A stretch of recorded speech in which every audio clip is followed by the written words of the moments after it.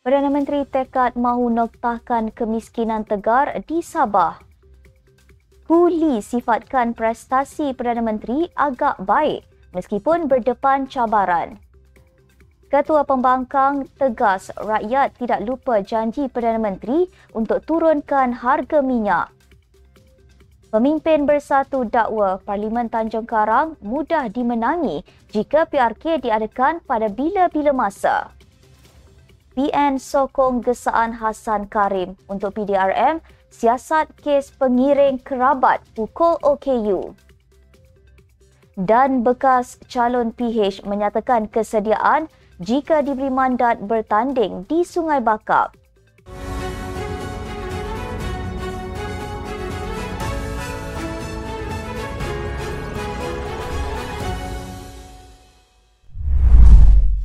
Bismillahirrahmanirrahim. Assalamualaikum dan salam Malaysia Madani. Bersama saya Asma Ismail dalam Next Step News edisi tengah hari 31 Mei 2024 bersamaan 23 Zulkaidah 1445 Hijrah.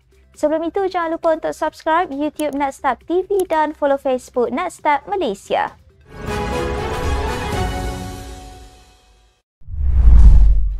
Perdana Menteri Datuk Seri Anwar Ibrahim menegaskan kerajaan bertekad mahu noktahkan kemiskinan tegar di Sabah sebelum akhir Julai tahun ini.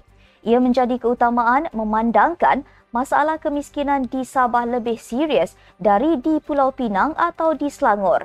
Katanya setakat ini kadar kemiskinan di Sabah telah menurun daripada 20,000 kepada 9,000 orang.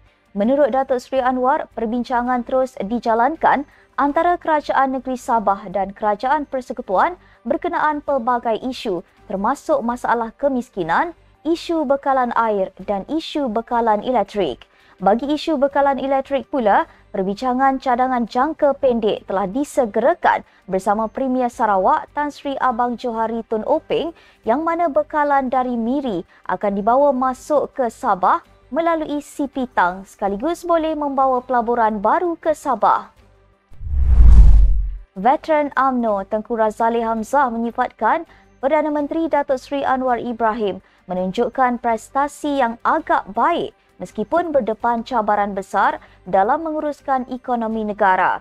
Menerusi laporan FMT, veteran yang lebih dikenali sebagai Kuli berkata, masalah utama Datuk Seri Anwar terletak pada ekonomi yang terkesan akibat penyusutan nilai ringgit dan kenaikan inflasi. Bekas ahli Parlimen Go Musang 8 penggal itu berkata, antara cabaran besar dihadapi Datuk Seri Anwar ketika mengambil alih kerajaan pada November 2022 ialah kemerosotan nilai ringgit.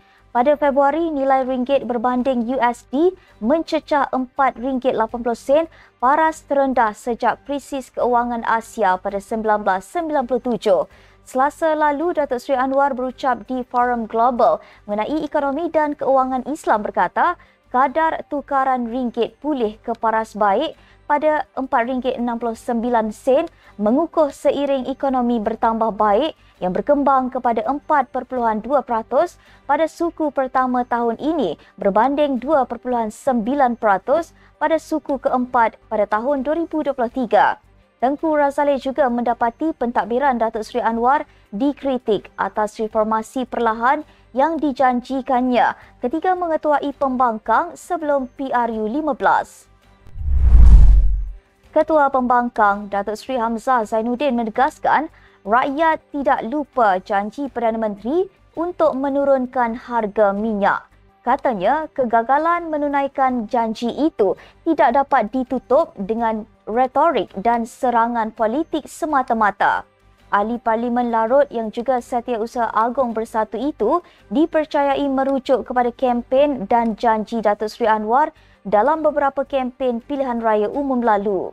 Terdahulu dalam hantaran media sosial, Hamzah sejak semalam juga berkongsi ketua-ketua badan pimpinan bersatu negeri-negeri menerima dokumen arahan Majlis Pimpinan Tertinggi MPT Bersatu. Surat arahan tersebut adalah untuk menghalang mana-mana ahli bersatu daripada menyokong Perdana Menteri Datuk Seri Anwar Ibrahim. Seorang pemimpin bersatu mendakwa Parlimen Tanjung Karang yang sebelum ini menjadi kubu kuat AMNO kini dianggap deposit tetap parti itu dan mudah dimenangi jika PRK diadakan pada bila-bila masa. Menerusi laporan sebuah portal, PRK mungkin berlaku di kawasan parlimen di utara Selangor itu jika penyandangnya Dr. Zulkafli Hanafi terlucut keahliannya sebagai ahli bersatu sekiranya gagal menjawab surat arahan parti dalam tempoh dua minggu berakhir hari ini. Zulkafli, antara enam ahli Parlimen Bersatu, mengumumkan sokongan kepada pentadbiran Datuk Seri Anwar pada 24 Januari lalu namun menegaskan kekal setia dengan Bersatu dan parti itu telah menyerahkan surat arahan pada 17 Mei lalu yang mengarahkan mereka tidak menyokong Datuk Seri Anwar. Menurut Ketua Bahagian Bersatu Tanjung Karang, Nurul Syazwani Noh berkata, kemenangan di parlimen itu dianggap jalan mudah berdasarkan jumlah majoriti undi diperolehi PN di dua DUN di bawah Parlimen Tanjung Karang, DUN Permatang dan DUN Sungai Burung yang angkanya lebih 8,000 undi. PRU 15 menyaksikan Parlimen Tanjung Karang jatuh ke tangan PN menerusi Zulkafli dengan majoriti 2,180 undi dan kekalahan itu mempunyai kaitan dengan pengguguran penyandangnya selama enam penggal iaitu Noh Omar dengan pemimpin wanita Habibah Yusof. Baru saja dilantik mengetuai Bersatu Tanjung Karang, beliau berkata, Tugasnya kini untuk memperkemaskan semula jenteranya kerana tidak banyak dibuat Zulkafli ketika menerajuinya. Perikatan Nasional menyokong kesaan ahli Parlimen Pasir Gudang Hassan Karim untuk polis harus meneruskan siasatannya berhubung dakwaan pengawal pribadi kerabat diraja memukul seorang pemandu e-hailing orang kurang upaya OKU.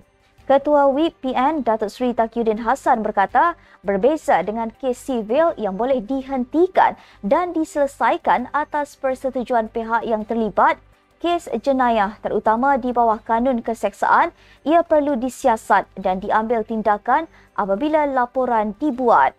Menerusi sebuah portal, beliau berkata, prinsip kedaulatan undang-undang serta peranan pihak berkuasa sebagai pelindung kepentingan awam perlu dipertahankan serta dilihat diamalkan dalam semua keadaan tanpa mengira kedudukan, pengaruh maupun status pihak terbabit. Pada Rabu lalu, Hassan ketika mengulas kes itu menegaskan dari segi undang-undang jenayah tidak ada istilah kes telah selesai walaupun ia dinyatakan begitu oleh pihak pengadu. Ia selepas Ketua Polis Kuala Lumpur, Rusdi Muhammad Isa memaklumkan pengadu membuat satu lagi laporan pada malam hari yang sama yang menyatakan dia tidak mahu memanjangkan kes berkenaan. Mengulas lanjut, Takyudin berkata, kes itu telah menimbulkan rasa tidak selesa dan tidak percaya terhadap kemampuan kerajaan melindungi rakyat dan menjamin keadilan untuk semua.